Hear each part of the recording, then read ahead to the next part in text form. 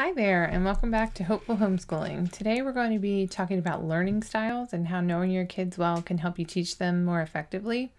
And we'll also be going into a little bit more detail on each subject that you're required to teach here in Maryland and how you can teach multiple ages at the same time um, to help you save your sanity and still teach your kids effectively. So let's dive right in. Hopefully, you've had a chance to observe your kids and see what they enjoy doing with their free time. As I mentioned last episode, um, that can kind of give us some clues as to how they might um, learn the best.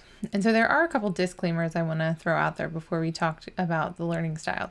The first one is that um, I fully acknowledge that a kid can have a hobby that doesn't necessarily reflect their learning style. And I think that goes without saying, but I just wanted to clarify that a child can really love um, listening to music, listening to podcasts, but they may be a visual learner. And um, listening to something is just a form of entertainment for them.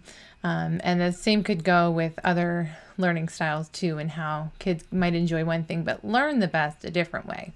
Um, the second thing I wanted to point out is that you don't have to present every single subject you teach to your child in their learning style. Um, when you think about it, it's really not real life. Um, if your child goes on to go to college or if they, you know, hopefully get a job at some point um, when they're grown, uh, they're not going to have everyone catering to their learning styles. And so it's important to have these discussions with your kids as they get older. You can kind of teach them how they learn best. Um, but I would just encourage you to really focus in on the learning styles um, that you know your kids have, especially when they're struggling with a subject. Um, so hopefully that'll make more sense as we continue on to talk about the different learning styles. So let's talk about the three main learning styles. The first one we'll discuss is the auditory learning style.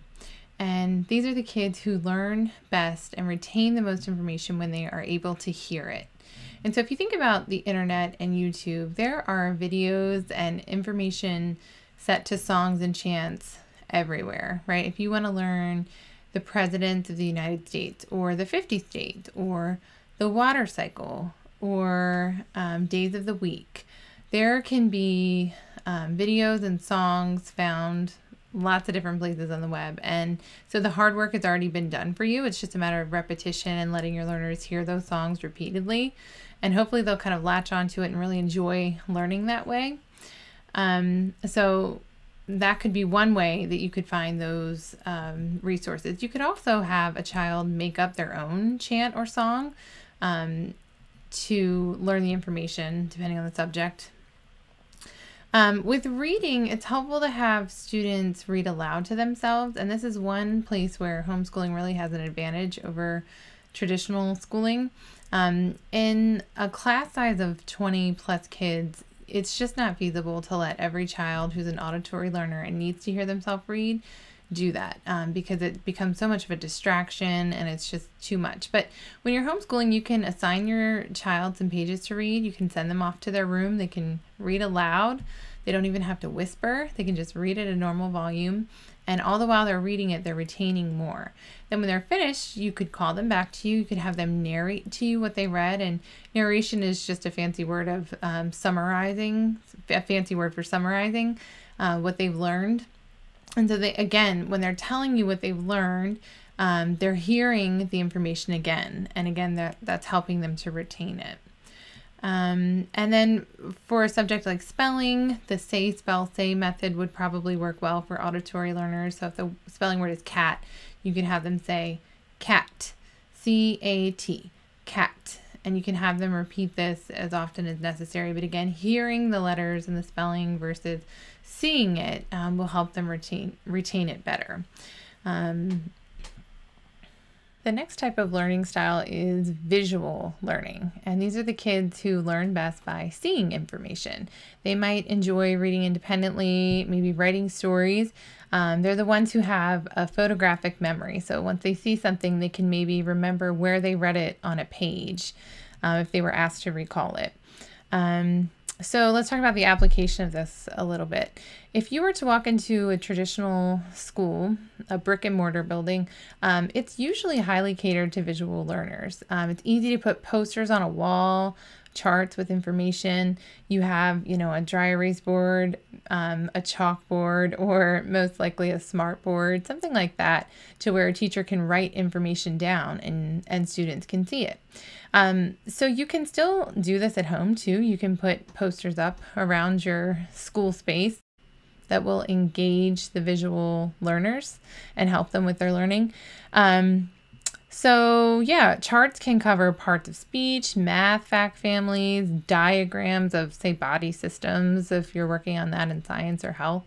Um, in math, you could practice with flashcards. That's helpful to visual learners because, again, they can see the facts, the answers, they can close their eyes and recall it. You could have them write their own flashcards. And again, that's another piece of the visual learning um, is them being able to write it too. And then for spelling words for visual learners, it could be as simple as studying a list or writing the words, tracing the words if they're younger. Um, you can make it fun, have them write with colored pencils or write with highlighters because it's homeschool. You don't have to always write in pencil, right? Um, and so those would be some, just a couple of tips to help visual learners retain their information. And then the last is the kinesthetic learners. These are the kids who love to move their bodies as much as possible. It's hard for them to sit still. For the kinesthetic learners, we want to let them have as many opportunities as possible to engage their bodies during learning. And it might take a little creativity on your part. This is not a, a learning style that I feel is quite as um, commonly catered to in traditional schooling. But again, in homeschooling, you have a lot more freedom. Um, and so, one of the ways that you would want to help kinesthetic learners is to use manipulatives and just concrete objects whenever possible. Um, so, for example, in our math program, I have a child who is a heavily kinesthetic learner and he loves to touch, feel, move, wiggle, all the things. So, we use a program called Math-U-See and it has these blocks. This is uh, representing the hundreds, and these are the tens, and these are the ones. So it helps him to be able to hold these blocks in his hand, to see them, to feel them, to be able to understand the connections. It helps with place value um, and ideas like that.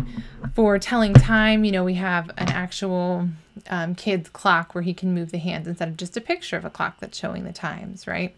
Um, for language arts and reading and spelling, I use a program called All About Spelling and All About Reading. They have these little uh, magnetic tiles with the letters on them. The consonants are in blue and the vowels are in red. And so that kind of helps him with um, being able to put words together when we're spelling. And also, I just got these, haven't used them yet, but this is the same idea as the tiles. I'll show you here. Um, these are blocks that have the letters on them that actually connect together. So I think that he'll really enjoy doing that with spelling um, spelling words.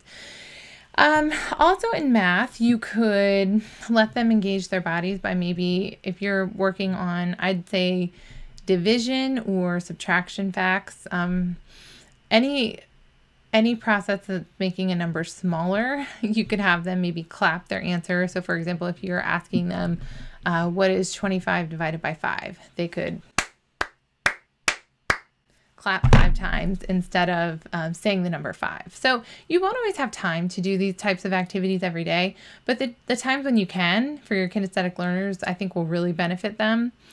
Um, you could have them do jumping jacks, or, you know, I did this with um, one of my children when they were learning the ABCs. They just jumped for every letter um, because it helped them moving their body. And for spelling, you could use uh, the little rubber stamps and ink pads if you have the alphabet stamps. They could stamp their sight words or their spelling words um, in Play Doh or in ink, really. Um, if you're really feeling brave, you could do, you know, put out some shaving cream, let them use their finger to write the letters out in shaving cream, or you could do the same um, with other materials like sand or a salt tray, something like that. Um, so, again, just that um, body connection helps the kinesthetic learners. So that's just a quick overview of the main learning styles. I hope I was able to give you just a, a general idea of how um, learners can learn differently and how you can kind of help them when you're teaching different subjects. Now let's talk about the subjects that you're required to teach in Maryland. Before we get into the details, just a word about choosing curriculum. We'll be talking a lot more about curriculum in future videos, but I wanted to give you two really good resources to start with so that you can just kind of familiarize yourself with um, some curriculum choices that you have. So the first is cathyduffyreviews.com. This is an awesome resource. Um, you can basically search by subject, by grade, and it's basically a really long list of curriculum choices with summaries and links to the publisher's website.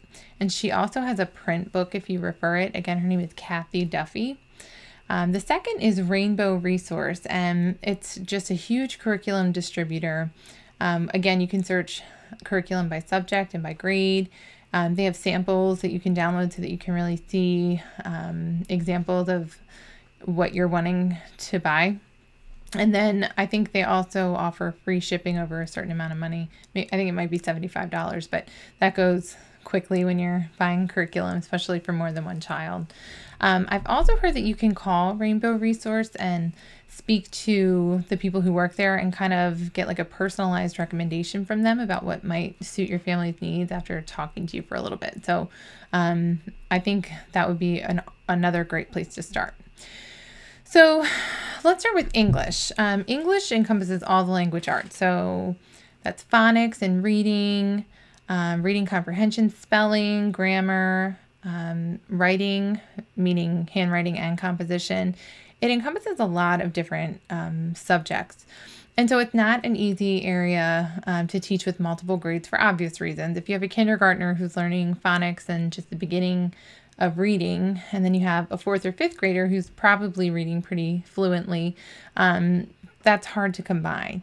And so, um, what I would suggest for English is to use one of the sites that I mentioned to resource, uh, I'm sorry, to research a few choices um, according to their grade level that they're in at school. And most curriculum choices have uh, placement tests that you can do. Um, there are lots of curriculum that combine reading, writing, grammar, and spelling into one program. That way, you're not buying a book for spelling and a book for reading and a book for writing and composition. Um, yeah, there are curriculum that combine those all together. Uh, some of the examples of curriculum are Sunlight and The Good and the Beautiful. Those those both come from a Christian or a religious um, perspective.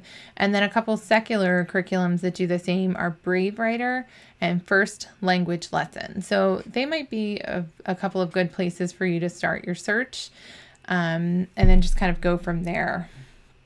So math is the other subject that does not um, is not easy to teach multiple ages, again, for the similar reasons as uh, English.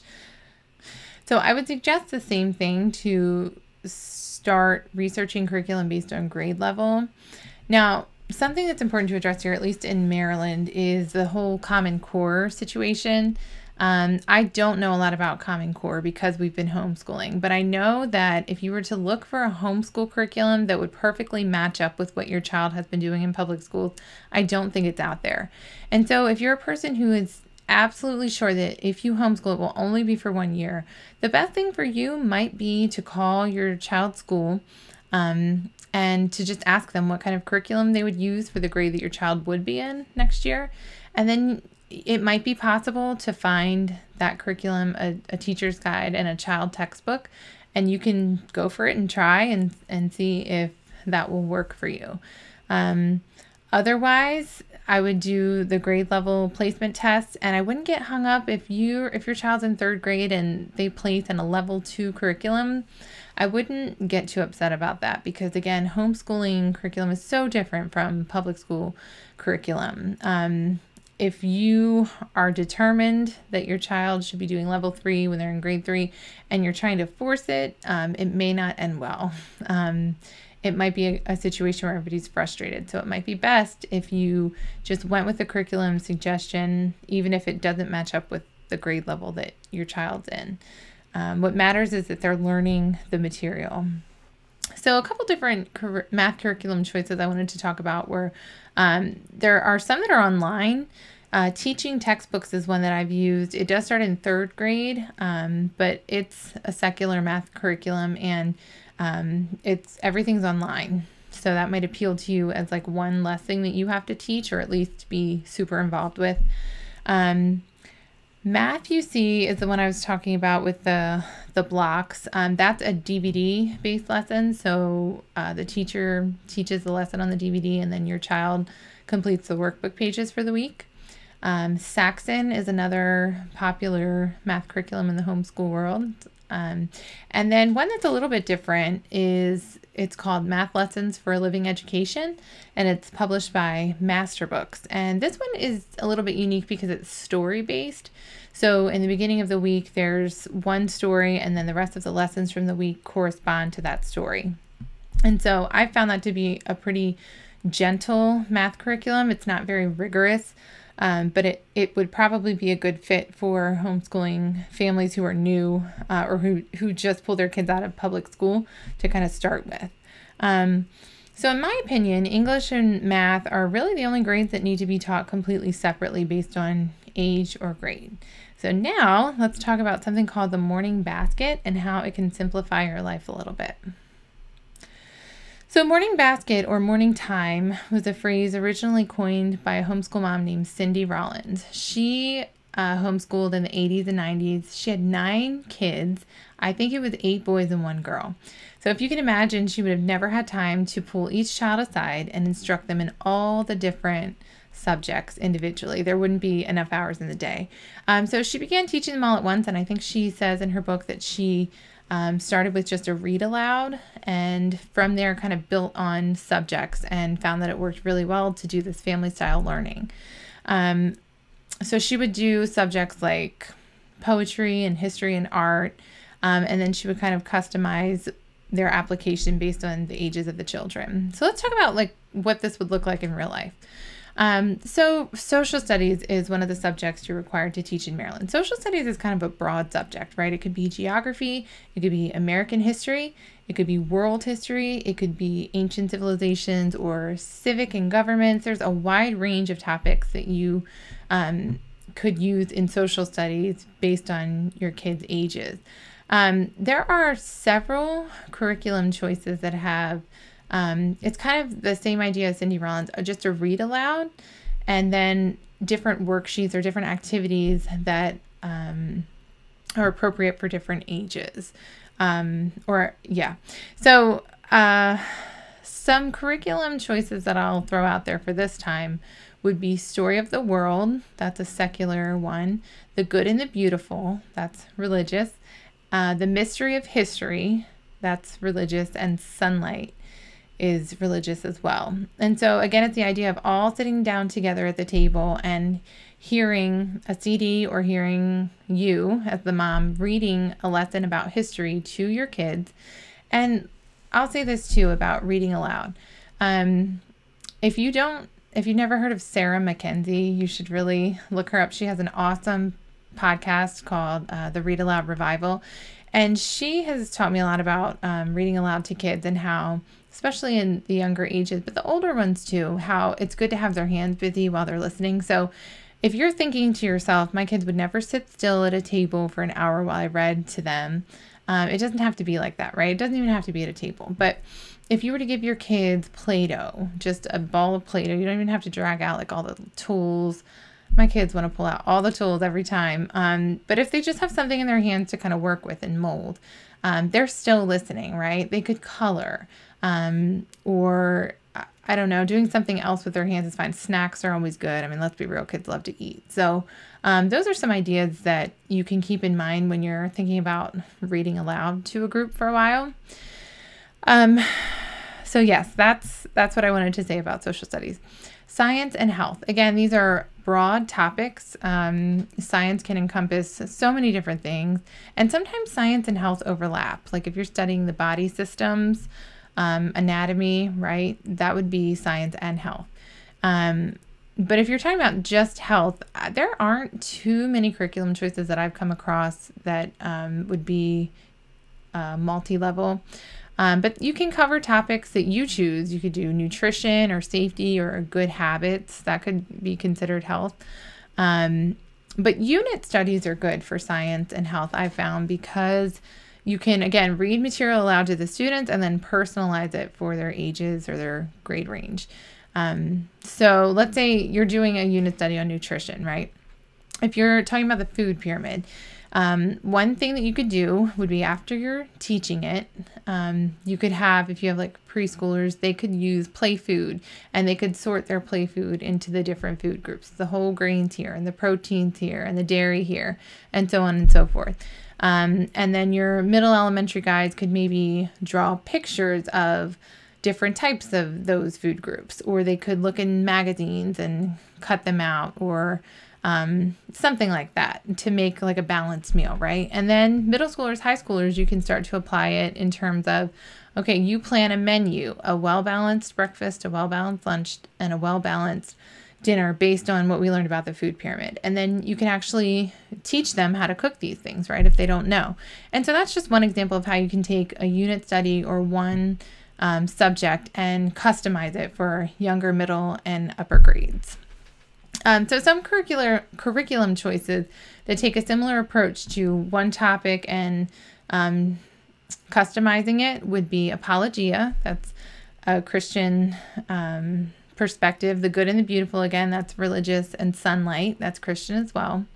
You could also um, do nature journaling and you could pick an aspect of nature and dig really deep into that. And you don't even need a specific curriculum for that. You could just find some field guides on Amazon, like a bird, like a bird book of birds of um, North America or birds of Maryland, if you want to be more specific. And, um, you know, bird watch, you could have kids sketch the birds, you can listen to what the birds sound like. Um, you know, you could do the same with trees or flowers, um, and then just go as deep as you can. And again, that's going to be something that all grades can do. They can all sketch what they see out in nature.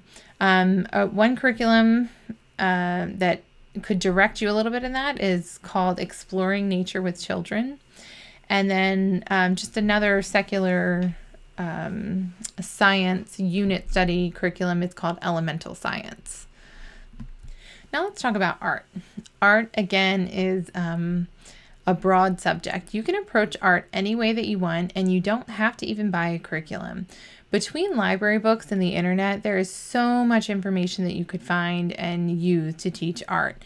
You could easily choose an artist and study his or her life and their works. You could practice the techniques they were best known for. You could try to recreate one of their masterpieces. Again, you can do this with all grades. Um, all grades can listen while you're teaching and they can all try their best to do um, these projects. You could also find some how to draw books and give each child the same book or the same copy of each page to try on their own. You could do YouTube tutorials um, that use different mediums. You could do ones that draw certain characters. You could probably find some um, chalk pastel tutorials. Um, you could look on Pinterest for seasonal ideas for art projects.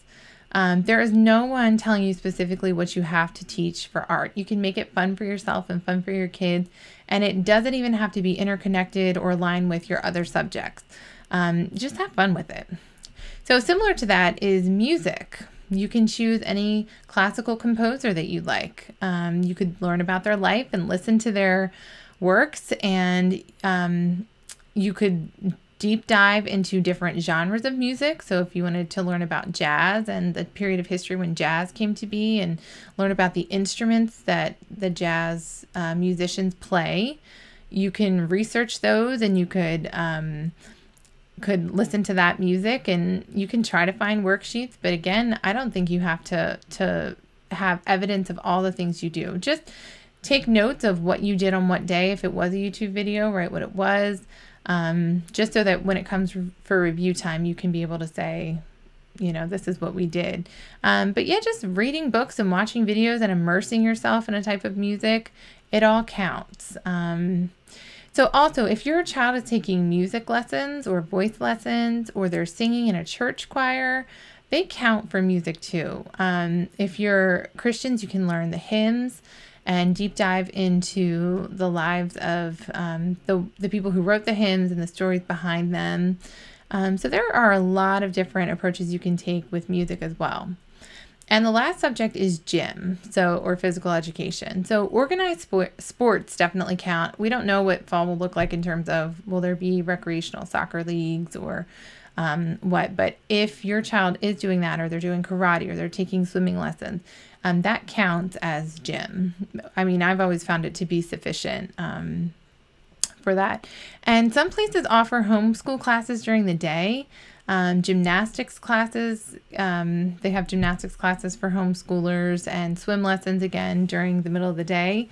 Um, Climb Zone and Urban Air are two local businesses that even have, I think, homeschool um, hours, certain hours. And Climb Zone has like this whole program, I think, that would also count toward gym.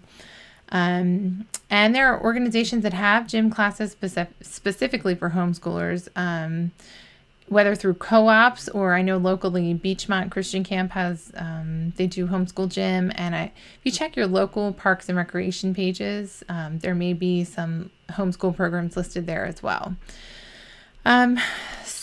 So a couple of things to round out this video. Um, Remember that just because this is called or referred to as morning basket or morning time, the together learning, um, it doesn't mean that it has to be in the mornings. You have to figure out the rhythm of your family, and it can be anytime you want. It can be before or after lunch, in the afternoon, it can be in the evening if it needed to be. Um, you rearrange your schedule the way that it works best for your family. Um, but I'll leave you with these resources. So Cindy Rollins was the one who I said kind of invented morning time. She has a book called Mere Motherhood. Can you see it? Um, and this is just a really beautiful, sweet book. It's kind of her memoir, but she also talks a lot about her homeschooling and um, morning time and what it looked like when she was homeschooling back in the day. And it's kind of um, there are some funny parts too of trouble that her boys got into. So I'd recommend that. And then she has this uh, book, A Handbook to Morning Time. I bought this uh, a little while ago, but it it's a really helpful resource. The good news is that it's not even on Amazon or anything anymore because I looked it up to see if I could link it um, in this video, and she's giving it away for free on her website. So I will link her website um, below this video and she just kind of goes through and talks about um, like a framework for morning time and again she does um, a lot of subjects like poetry and Shakespeare, things that homeschool families just starting out, it may feel overwhelming for. Um, but it's still just a good kind of a, a spine or a, a good um, a good place to start for it's a good place to start for direction in morning time. Uh, and then I would introduce you to my virtual friend, Pam Barnhill. Um, she wrote a book called Better Together, and she has a podcast called Your Morning Basket and an awesome website. She has morning time plans that you can purchase that tell you kind of, um, yeah, what to read for certain seasons and things like that. But again, you don't need you don't need to purchase those. But um, I would definitely, if I were you, look at her site. I would read this book because she does a really good job of ex- explaining morning time and outlining it there. Um, and again, the podcast is really good too. So I hope that from this video, you were able to take away some ideas of how to specifically teach these subjects and how you can hopefully combine some subjects so that you're not spreading yourself too thin throughout the day. If you have any questions, let me know. And um, I look forward to our next episode. We're going to talk a little bit more about um, methodologies and uh, curriculum. So I will see you next time. Have a good one.